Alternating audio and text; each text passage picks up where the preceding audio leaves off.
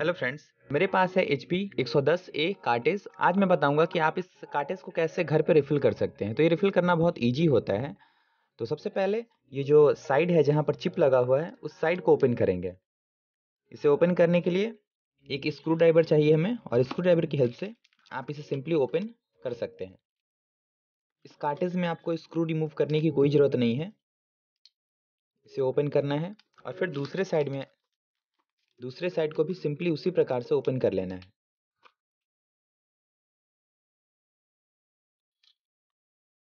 और ओपन होने के बाद ये आपको दो लॉक दिखेगा। उस दोनों लॉक को भी ओपन कर लेना है स्क्रू ड्राइवर की हेल्प से।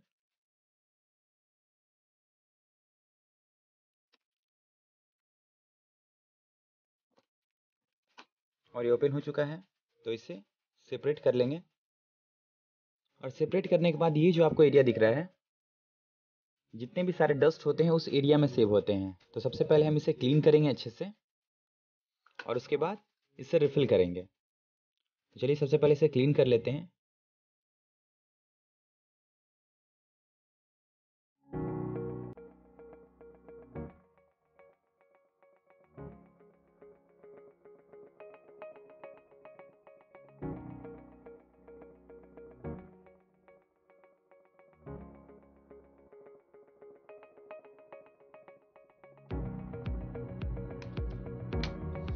और यहाँ से इस लॉक को हटा करके इसे ओपन कर लेना है।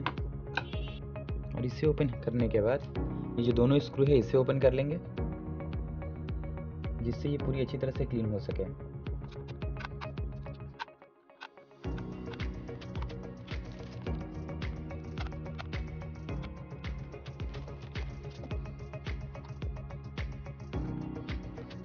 इसमें जितने भी सारे डस्ट हैं, सारे डस्ट को रिमूव कर लेना है।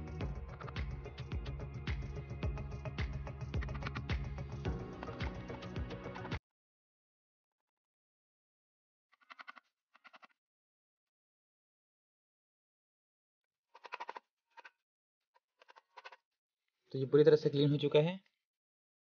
और अब यहाँ पर इस पेपर को चेंज कर लूँगा। और अब मैंने जैसे इसे रिमूव किया था, उसी प्रकार से मैं इसे सेट कर लूँगा। और जो दोनों स्क्रू थे, उस दोनों स्क्रू को यहाँ पर टाइट कर लूँगा।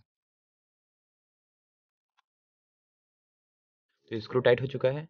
और उसके बाद अब जो रिफ़िल का प्रोसेस है तो ये दूसरा पार्ट है।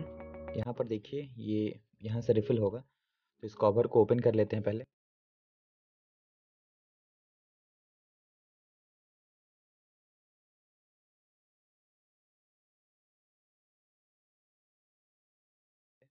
ये देखिए, यहाँ पे हमें इसे लगाना है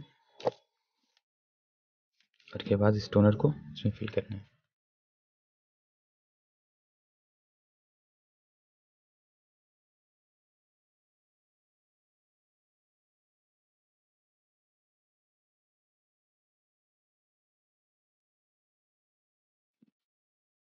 और ये जो कार्टेज है वो पूरी तरह से फिल हो चुका है, जैसा कि आप देख रहे हैं इसमें।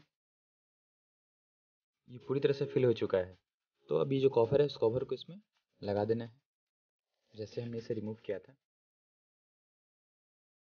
और इस एरिया को अच्छे से क्लीन कर लेंगे, क्योंकि बहुत सा टोनर जो है वो रिफिल करते टाइम इसमें गिर जाता है। और इस एरिया को भी क्लीन करने के बाद, जैसे हमने इसे रिमूव किया था, उस प्रकार से इसे सेट कर देना है।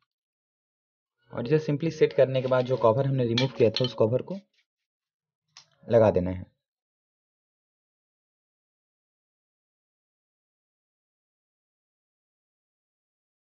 ये दूसरा साइड है उसे।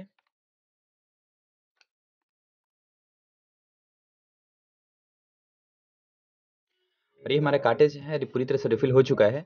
तो इसी प्रकार से आप अपने काटेज को घर पे भी रिफिल कर सकते हैं। आई होप ये वीडियो आपको अच्छा लगा होगा और आपको इससे कुछ सीखने के लिए मिला होगा। तो मिलते हैं नेक्स्ट वीडियो में। Thanks for watching